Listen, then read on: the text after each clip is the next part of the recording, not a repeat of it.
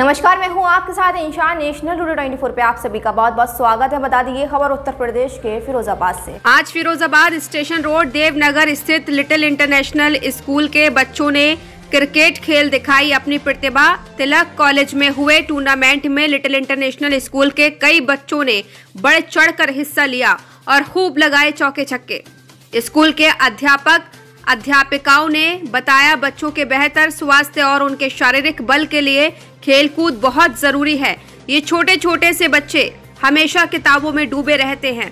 इनके आंतरिक विचारों को प्रफुल्लित करने के लिए खेलकूद बहुत ही ज़रूरी है। स्कूल प्रबंधन द्वारा टूर्नामेंट में हिस्सा लेने वाले बच्चों का मनोबल उत्साह वर्धन के कई तरह के पुरस्कार देकर किया गया। रिपोर्ट देखिए ऋषि पंडित के साथ।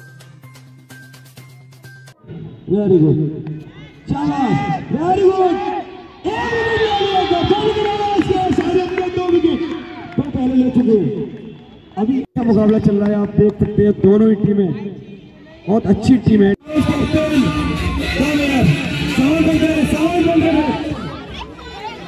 green house captain dead ball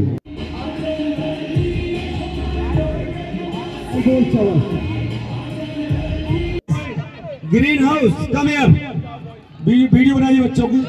कम आओ वेरी गुड शाबाश वेरी गुड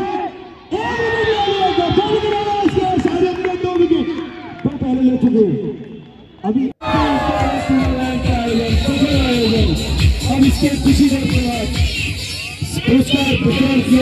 मुकाबला चल रहा है, आप देख सकते हैं, दोनों ही टीमें बहुत अच्छी टीम है। खेलना चाहते थे। मिस हुआ शॉट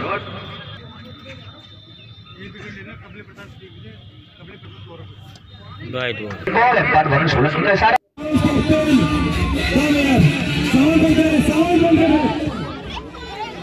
Green house captain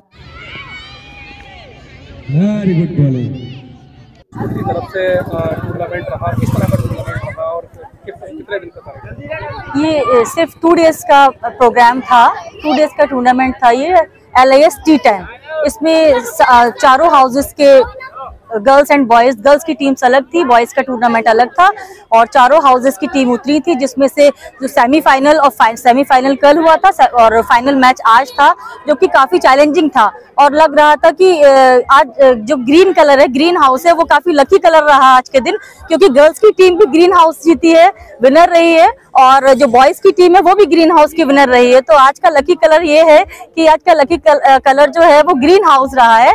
सो काफ़ी चैलेंजिंग मैच था। काफ़ी बहुत अच्छा बच्चे काफ़ी एक इक्वालिटी के साथ, एक यूनिटी के साथ में बच्चे, बच्चों ने ये टूर्नामेंट को परफेक्शन पर लेकर आए और सभी बच्चों ने they they have played well played they have